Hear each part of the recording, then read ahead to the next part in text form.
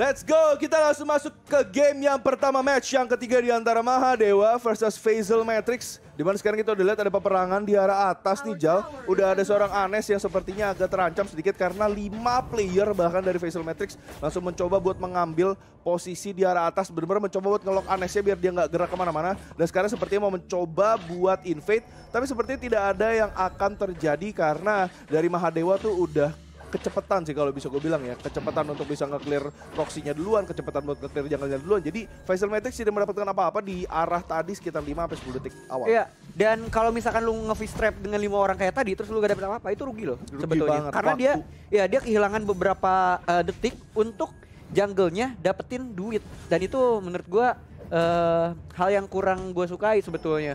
Iya. Tadi kalau misalkan mau, lu kejar aja, lu kejar aja, lu komit dan sayangnya adalah Faisal Matrix gak komit. Dan sekarang kita akan melihat pergerakan yang akan dilakukan oleh tim Mahadewa kali ini masuk dengan satu Raja Rana.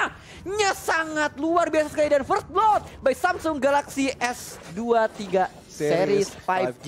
Mantep Asik. banget Ijal akhirnya ganteng nyebutnya ya.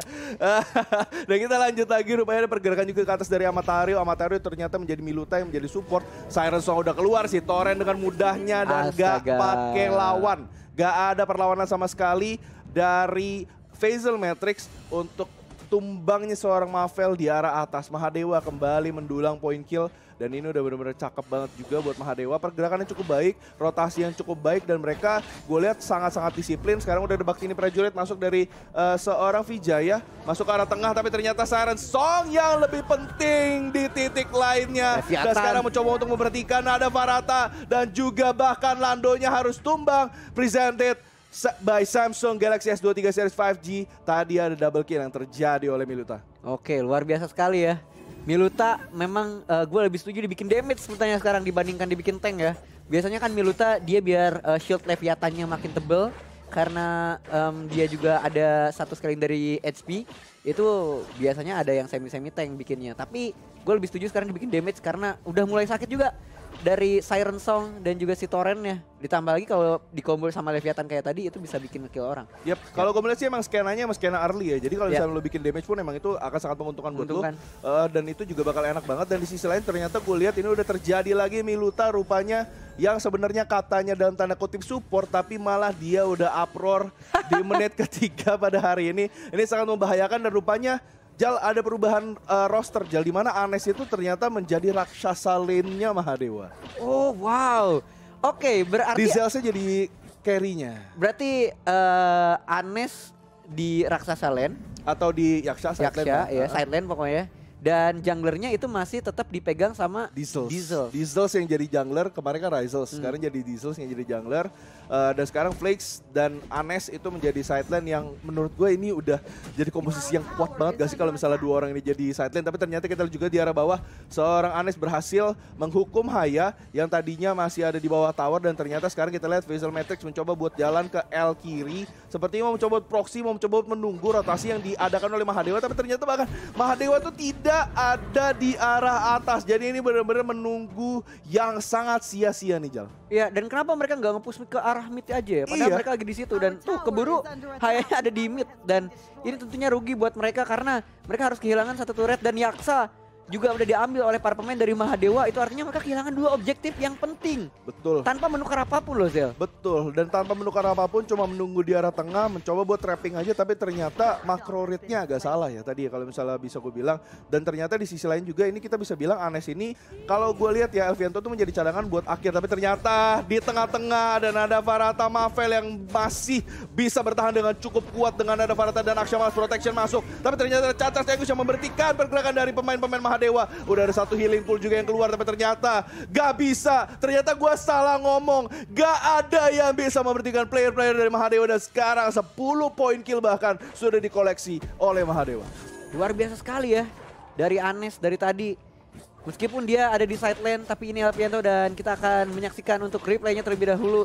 Combo wombo yang luar biasa. Mavel emang cukup kuat Zel di sini, tapi lihat flanking yang dilakukan dari seorang Anes. Dia dengan cyclone-nya sepersekian detik membantai orang-orang yang ada di sana dan tentu harus pasrah aja dari Vessel Matrix pergerakannya uh, unpredictable soalnya. Yes, yes. Dan ini gue lihat rotasinya udah mulai cukup pinter ya. Ketika Dieselsnya udah bisa mulai ngambil objektif, ketika Dieselsnya udah mulai ahead in gold, sekarang Anesnya yang lu lihat jungling di arah jungle-junglenya dari Mahadewa. Jadi mereka benar-benar mencoba buat fit kedua jungler, kedua assassin ini dengan enough ya dengan dua-duanya seimbang. Tapi rupanya kita harus potong dulu karena ada exoteric jolt yang masuk ke arah seorang Mavel di sana langsung terpotong. Begitu saja hidupnya. Dan kembali Mahadewa. Begitu kuat makro read yang mereka tangkap itu bahkan lebih tajam jauh daripada facial matrix. Apa yang mereka bisa lakukan di map Svakalo pada hari di menit ke-6 udah 12 kill berarti ada 2 kill per menit Ijal Wokem gimana yeah. nih Jal? Um, gue sih nggak apa ya nggak aneh gitu melihat permainan Mahadewa kayak gini. Tidak berubah sama sekali dari tahun kemarin. Tetap ganas tetap disiplin permainan yang rapih ini yang gue paling demen sebetulnya dari anak-anak ini. Dan lihat sekarang dia bahkan dapetin objektif lain yaitu satu turret lagi di bagian tengah. Sementara itu tapi kayaknya gak jadi karena udah ada satu perlindungan yang dilakukan oleh Mavel juga di sana. Mavel coba untuk protection ke sana tapi lihat Culik. sekali lagi diculik lagi karena si Toren. Dan juga dari Siren Song Miluta begitu menggoda langsung dibantai juga oleh teman-temannya The Carry. Kita berdua ada Vijaya ada Elviento, siapa pun yang coba buat mendekat ke arah mereka udah pasti melayang nyawanya. Waduh, tapi ini juga permainan permainannya sih rapi banget sih dari Mahadewa ya. ya. Bagaimana cara mereka bisa mengeluarkan skill-skill dengan harmoni yang sangat baik, langsung lagi Cyrus lagi si Toren lagi hilang sekali lagi Mavela. Oh. Ditelan bumi, ditelan para Mahadewa pada hari ini. Dan sekarang Facial Matrix sudah mulai kelimpungan, tersisa hanya inhibitor tower di arah dalam. Mereka benar-benar mulai terkurung lagi terjadi seperti yang match kedua di mana mereka bahkan gak bisa keluar dari base tower mereka sendiri. Ini yang benar-benar bikin pusing banget tapi udah Wah, ada Raja Rana lagi. Raja Rana kembali terhilang. Durmada Yaksa langsung exoteric Joe terdorong ke belakang dua pemain. Nadanya kembali menjadi bulan-bulanan untuk player-player dari Mahadewa. Dan sekarang Mahadewa totally menikmati apa yang sedang mereka panen sekarang ya. Yaitu pundi-pundi kill daripada Facial Matrix. Dan sekarang perbedaan gold pun terlalu jauh meledak pada akhirnya seorang raksasa di sana. Coba masih buat pukul-pukul lagi. Mavel masih bisa berjalan untuk mundur. Kuam Kiamite hanya mengulur sedikit waktu untuk inhibitor tower di atas.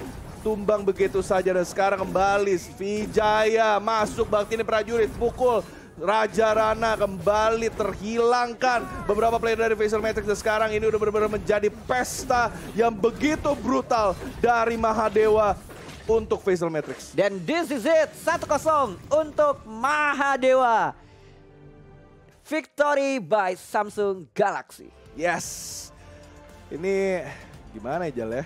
Gue ngomongnya Jal ya. Uh, agak agak sulit sih ya kalau misalnya kayak gini tapi ya udahlah. Sekali lagi congrats buat Mario udah menangin game yang pertama match yang ketiga.